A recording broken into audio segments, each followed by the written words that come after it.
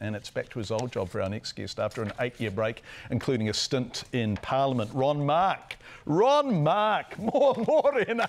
Ron, how are Morning, you? John. Congratulations. I'm good, mate. I'm good. Thanks, mate. Thank you. Yeah, yeah. Oh, look, I, I, actually, Carterton's fascinating because we mentioned Masterton to your north, we mentioned South Wairarapa to your uh, south.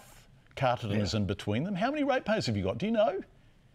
Yeah, about 5,000 odd. Yeah, the total population, we've cracked the 10,000 mark. We've got a big piece of dirt. A big piece That's of dirt with 5,000 Yeah. ratepayers to pay for the work you need to do. And I know one of the discussions that's taking place in the Wairarapa broadly is amalgamation. Is there a case for that?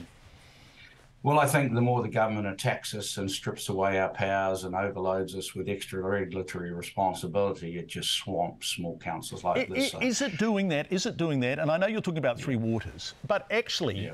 Isn't the fact that you only have 5,000 ratepayers a compelling case for three waters? You haven't Well, got yeah, the we- we- money to do the infrastructure work. You've had boil notices on your water, for, goodness sake. I mean, isn't three waters a good thing for you?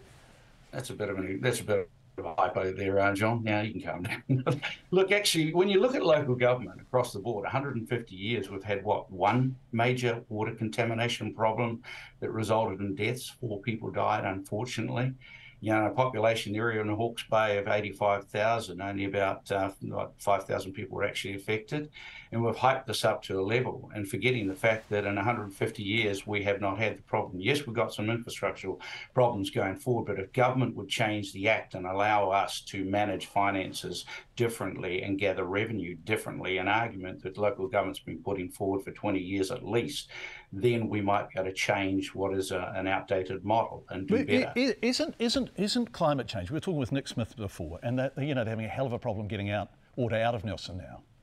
Uh, Dunedin South, and we're going to go to Dunedin and, and talk to their new mayor shortly. Isn't it not only about what we drink, it's about how we're going to get rid of more and more and more water as the climate becomes more extreme? Is it but that I- you I are ideologically opposed to three waters? Is it that No, you're stubborn? look, Is it that you think you can do it better?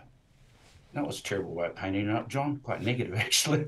you know, you, you should calm down and have a look at it. You know, we I was the mayor who bought the land and enabled our wastewater treatment plant to go ahead in the way that it has, and it's you know it was on track to be an award-winning um, project. But unfortunately, the last three years, the current uh, the the past administration blew that project over budget over time and it's been well i've got to get it back under control that's one of the reasons that i've been re-elected i think is to tidy up and clean up what's been uh, not an unsatisfactory performance. But if we look at three waters i mean i see an ideological drive to centralize everything and put everything under the control of the government and bodies that small districts like carterton will have no ability to talk to at all. We will just become as you quite rightly say 5,000 odd ratepayers just disappear in the ether and a big collective. And and it's not just there, John, this collectivization. And, you know, I dare to say it, it's a very socialist view of life, which is not shared over here, quite frankly. Uh, we're moving to a centralized model around the environmental planning policy from regional council, or, uh, which will create another body. And they're going to take away our uh, consenting capability, and which, you know, we were leading the country, being able to get consents through in four days in my time as the mayor, as opposed to Christchurch, which was disastrous. And the and the solution is to kill us. You know, I don't get it. So you can you can expect some strong pushback from uh, provincial New Zealand. I've, I've seen it already, Ron Mark. We would expect no less from you, Ron Mark. Congratulations. I know you're stoked mate.